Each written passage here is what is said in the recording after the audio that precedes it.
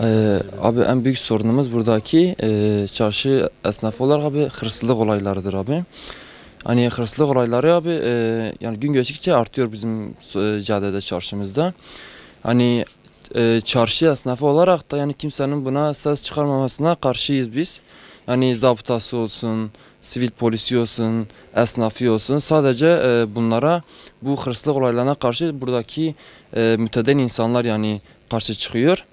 Yani e, buradan emniyette falan e, basına bir şeyimiz var, bir ricamız var. Hani buraya bir e, destek istiyoruz. Yani bir devriye ekibi falan istiyoruz bu hırsızlara, hırsızlık olaylarına karşı. Abi karşı karşıya geliyoruz yani hem onlar hem esnafla karşı karşıya geliyoruz. Esnaflar da işte niye karışıyorsunuz başınız belaya girer. Yani hadis-i şerif de diyor işte e, haksızlığa karşıysan yani dilsiz şeytan gibidir.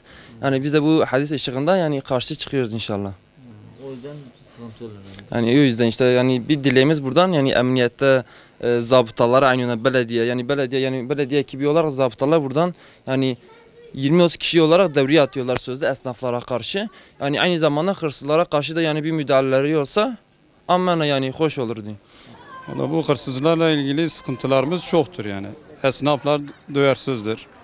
Eğer esnaf duyarlı olsa zaten e, bu devlet sahip çıkmıyor bu esnaflara. Madem sahip çıkmıyorsa esnafın kendisini kollaması lazım yani.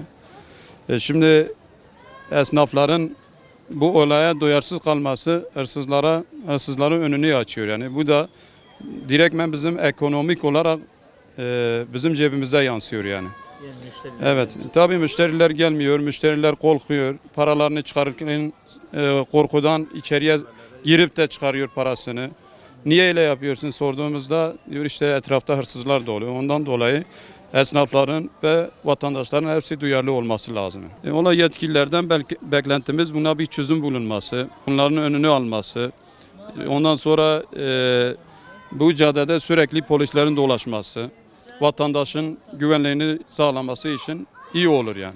Bu caddede en büyük sıkıntılarımızdan bir tanesi hırsızlık meselesi. Maalesef ne zabıta, ne belediye etkileri, ne emniyet hiçbiri önlem almamakta bu hususta.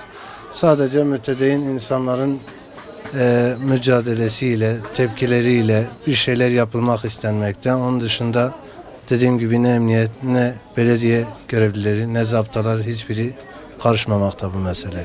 Yani örnek vereyim biz burada diyelim bir hırsızlık meselesine karşı çıktığımız vakit anında organize bir şekilde üstümüze gelebiliyorlar, bize saldırabiliyorlar. Tabii bizim de burada biraz e, hani tedbirli davranmamız gerekiyor. E, emniyet ve herhangi bir yetkili olmadığı müddetçe biz de bir şey yapamıyoruz.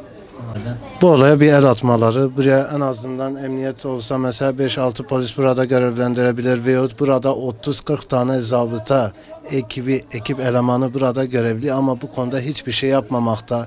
Kendileri bu işe bir el atabilir.